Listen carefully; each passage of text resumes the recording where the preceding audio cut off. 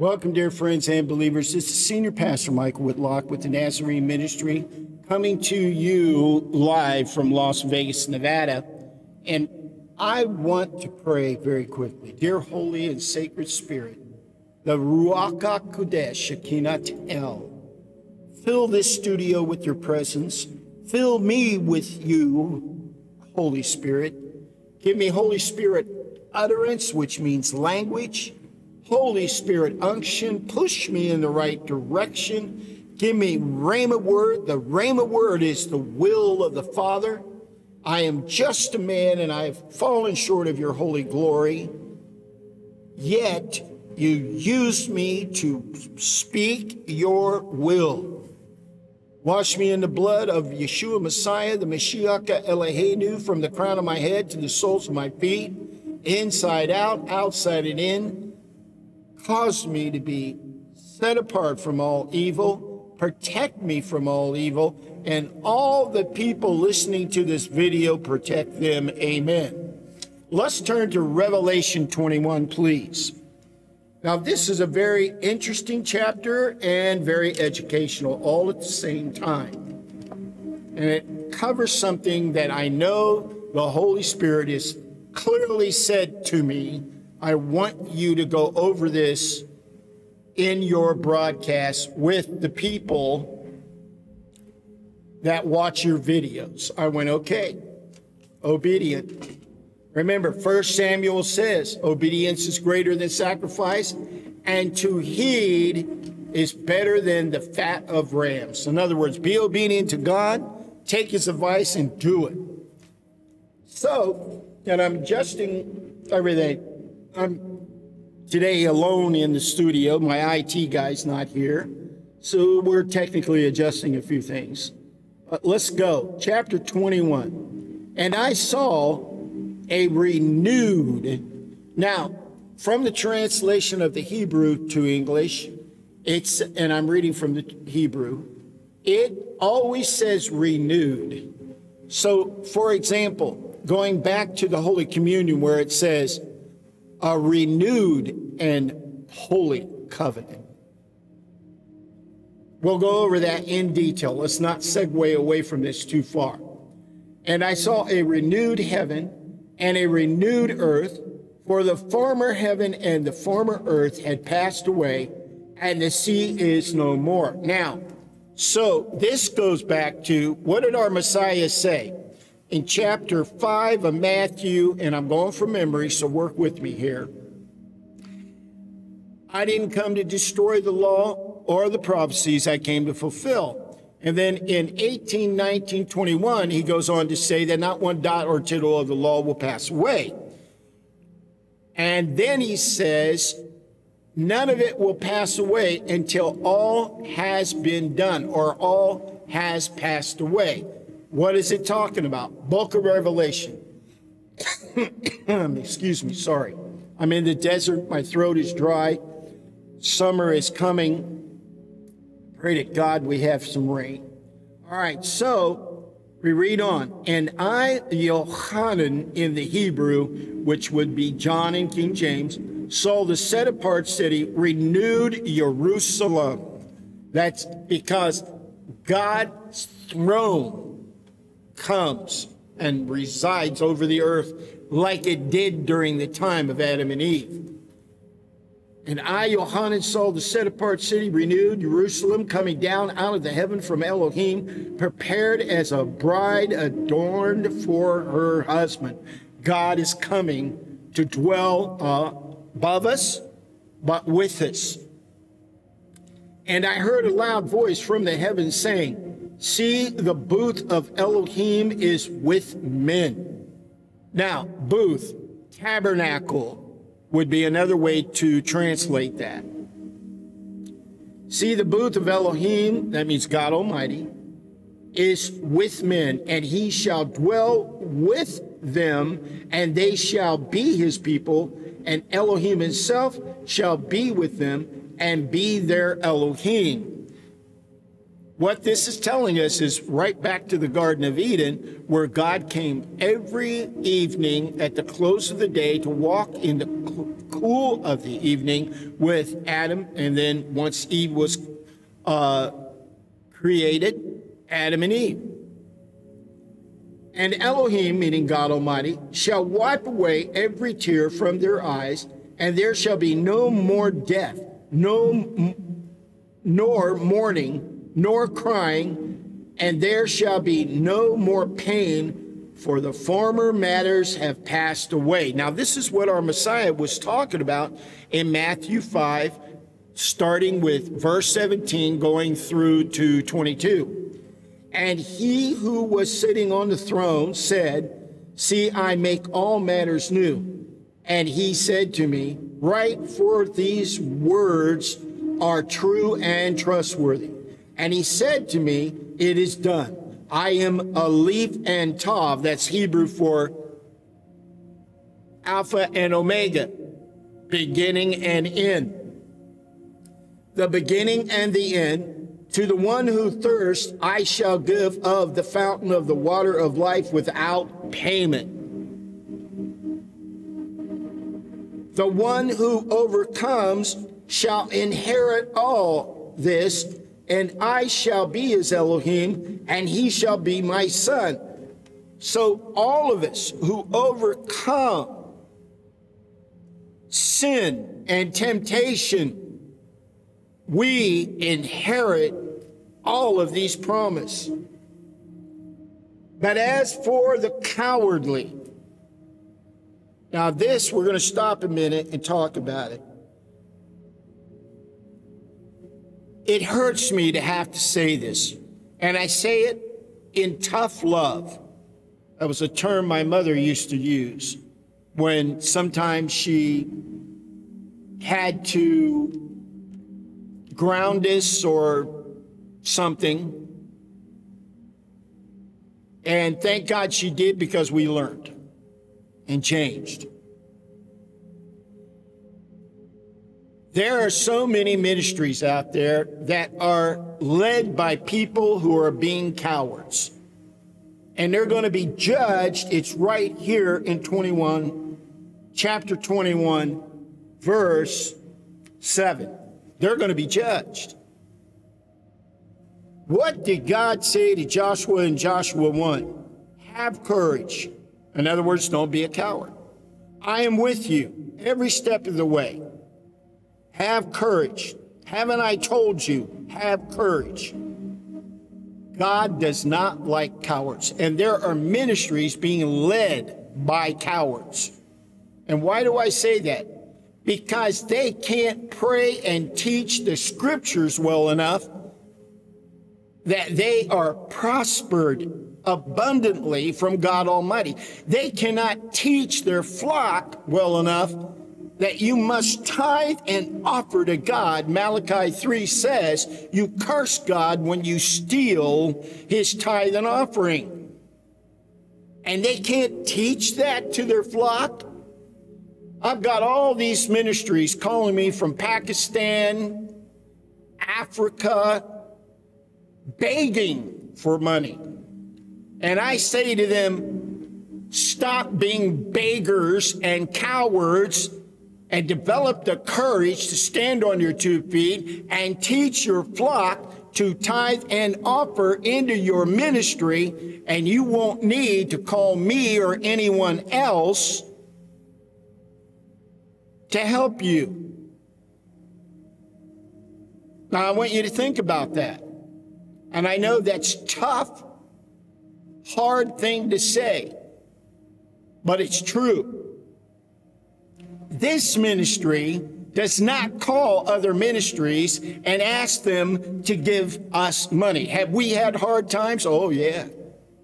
In Vegas, we have lost two flocks one to COVID 19, and the one before that, a flash flood came down from the mountains and wiped out my 4,000 square foot worship area in knee deep mud and water, I lost a quarter of a million dollar investment in that 101 South Front Street, uh, Pahrump, Nevada, our second church. And the only thing I can pray about that is I don't know what I did wrong, God, but please forgive me and correct me and direct me. And God did. He told me, I brought you out to Vegas. That's where I want you. Now you pack up your stuff and you get to Vegas and get out of Pahrump. And he was right. And I did. And then the blessings and the open doors of blessings began to come one by one by one by one. You got to be where God wants you, doing what God wants you to do, and then you're blessed. And you cannot be a coward in your prayers.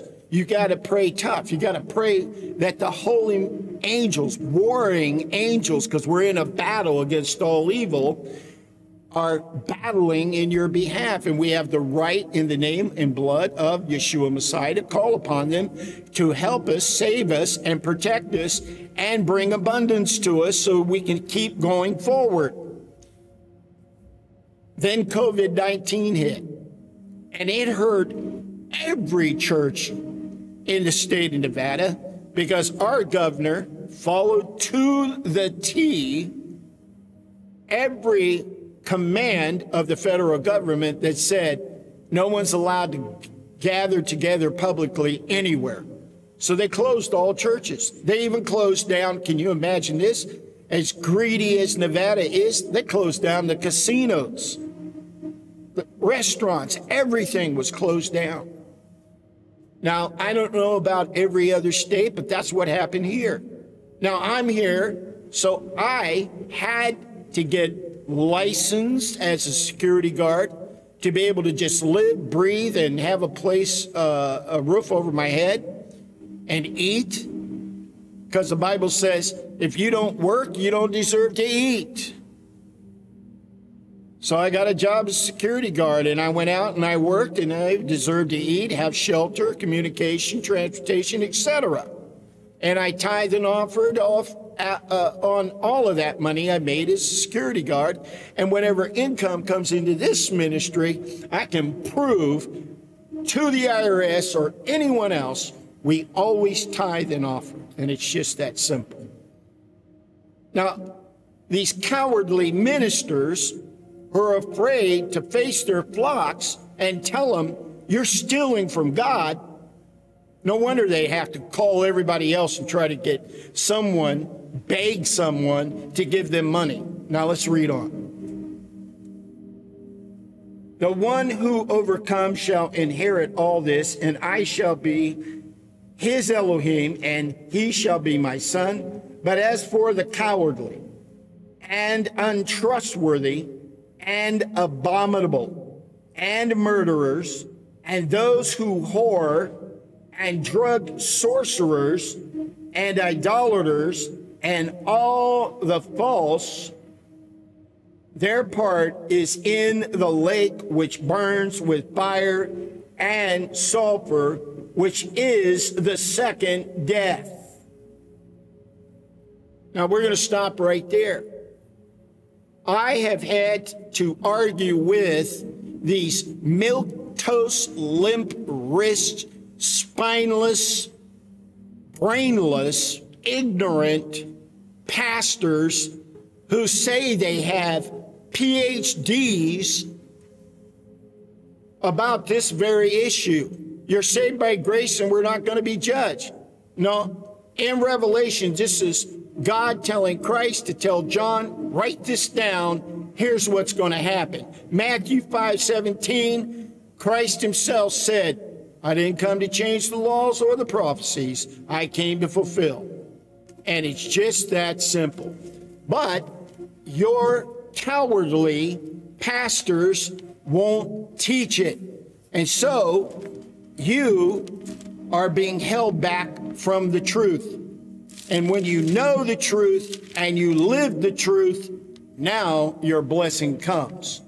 So, Matthew 5, verse 17. Do not think that I came to destroy the Torah, that means the laws, or the prophets or prophecy in the King James. I did not come to destroy, but to complete. King James says fulfill, meaning the same thing. For truly I say to you, till the heavens and the earth pass away, there it is again, one jot or one tittle shall by no means pass from the Torah, your translation would say law, till all be done. Whoever then breaks one of the least of these commands and teaches men so shall be called least in the reign of heavens. And that's if they make it there. But whoever does and teaches them, that's me, he shall be called great in the reign of the heavens. Now, you might think to yourself, wow, that's kind of egotistical, Pastor. No, I want to be a king under the rule of the King of Kings. I don't want to be a sheep, a baby Christian in diapers who doesn't know how to be independent, pray properly, take care of myself properly, and know the scriptures properly? No. I want to be a king in the kingdom. He is the King of kings. He is the Lord of lords. He is the good shepherd. So make a choice. If you're a lady, you could be a queen in the kingdom of our Messiah. And he is the King of kings, so he would be your king. It's all up to you. Make a choice. If you want to be a sheep that is led by the good shepherd, that's your choice as well. I don't choose that. All right, so it reads For I say to you that unless your righteousness exceeds that of the scribes and Pharisees, you shall by no means enter into the reign of the heavens. Some translations will say, enter into the gates of heaven. You heard that it was said to those of old, you shall not murder, and whoever murders shall be liable to the judgment. So, all of these ministers, and I've argued with them on radio, TV, who are telling you, yes, you're saved by grace, but you're still under the law. Grace does not give me, you, or anyone else the excuse to sin.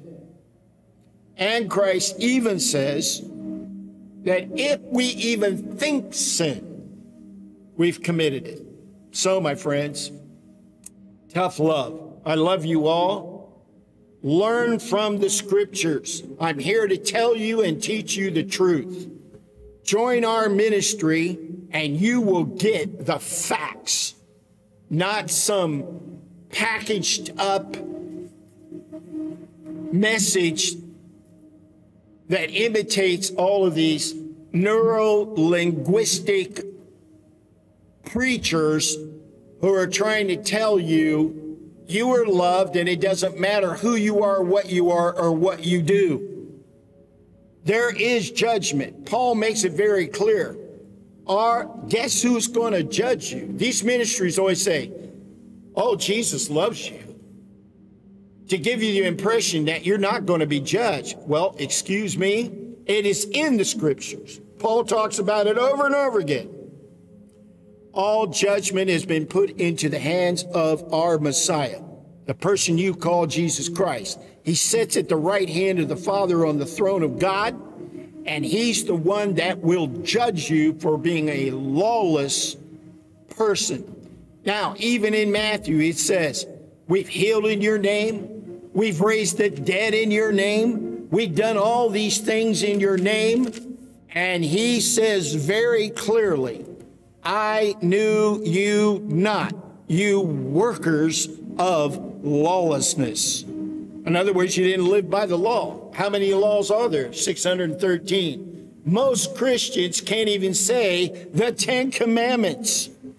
It's a shame. It's embarrassing. Most pe- people that I've met, they haven't memorized the prayer that our sacred Savior gave us, which some people call the Lord's Prayer, some people call the Our Father.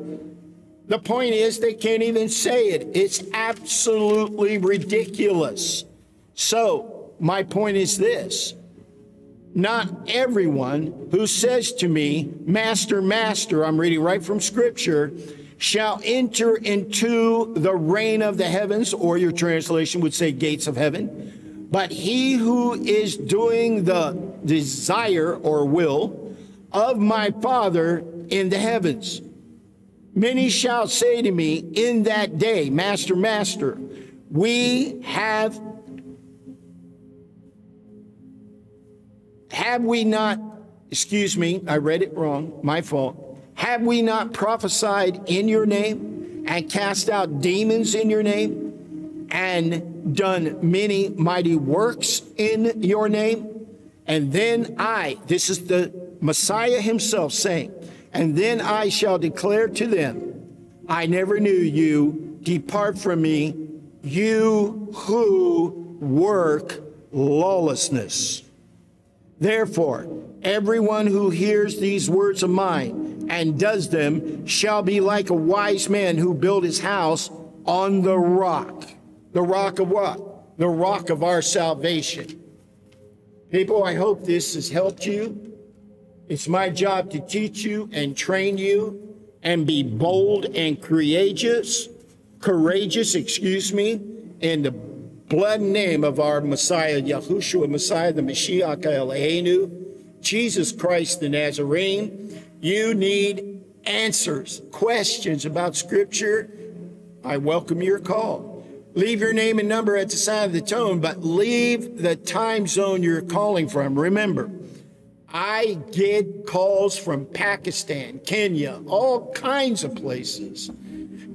Europe, London, uh, Australia, all kinds of places.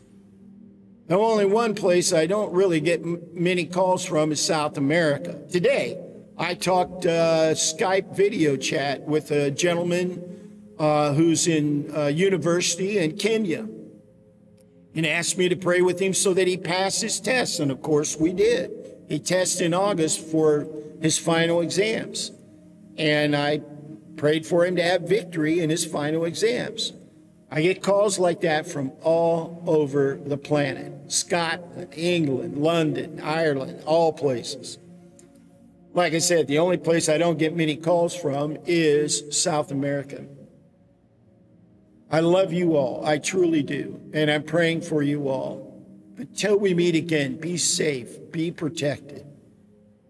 Watch out, for the evil is everywhere. Pray constantly. Don't give up. Pray in the morning, pray in the afternoon, pray in the evening. Pray constantly. Your prayers will be answered. And don't give up because over time, you'll learn about praying more powerfully, more powerfully, and your prayers will get answered. I guarantee it. This is Senior Pastor Michael Whitlock with the Nazarene Ministry out here in Las Vegas, Nevada. You need to call us, call 702 588 9237. And of course, we're in the United States of America, so if you're calling from a, for, uh, a foreign country, uh, remember it's 1 then 702 588 9237. Happy trails to you until we meet again. Be safe. Love our Lord and Savior and love the laws that God gave us. Amen.